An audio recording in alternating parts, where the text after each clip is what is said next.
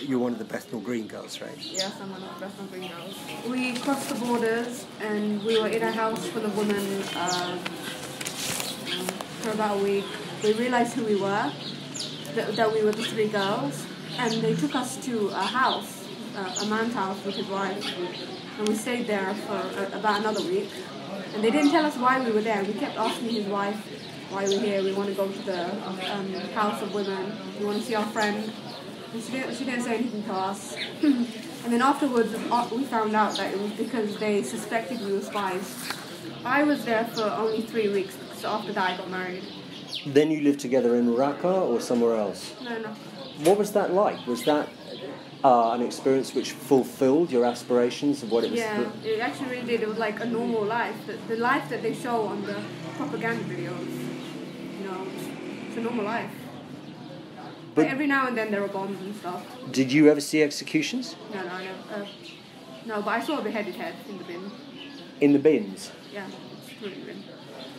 What was that like when you first saw that? These are the heads of captives. Yeah. I was, didn't phase me at all. Where were you when you heard that Khadija had been killed? In Raqqa. Do you know how she died? She- Her house was bombed because underground there was like some secret stuff going on, and a spy had. They, they figured out that something was going on, so her house got bombed and other people got killed as well. I never thought like it would happen. I like at first I was in denial 'cause I always thought if we ever did get killed, we'd, killed, we would get killed together. I have to think about my baby as well. After my two kids died, I just now I'm really overprotective of this baby. I'm scared that this baby's gonna get sick in this camp. That's why I really want to get back to Britain because I know it will be taken care of, like health-wise at least. How is it losing two children so close to each other? You can't have been left unfazed by that. It was really. It came as a shock. It just came out of nowhere. And it was so hard. On the one hand, a severed head unfazed you, and on the other hand, you are angry about oppression. Because it's one thing. Because you have to remember that these people, they, the, the, their beliefs are that you kill the non-Muslims, but you treat the the Muslims, you know, good. But now here you are.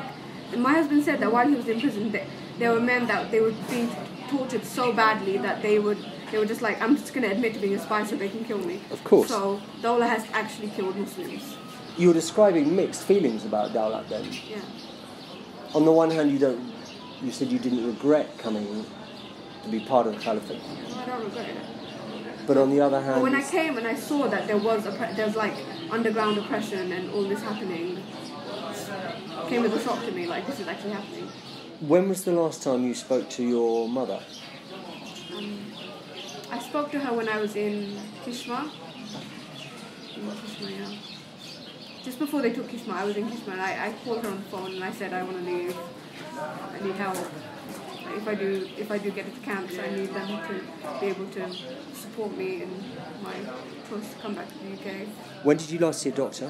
When I um, first came here, the cold ride was really horrible. It was really hot and stuff. So I, I thought I could start, had started, and I was bleeding, so they took me to the hospital. I was in the hospital for five days, and they brought me back. When is your baby due? Officially nine months. I should be giving birth any day now.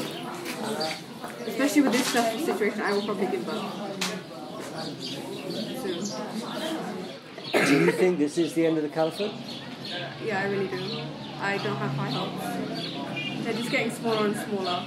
And there's so much oppression going, oppression and corruption going on that I don't really think they deserve victory.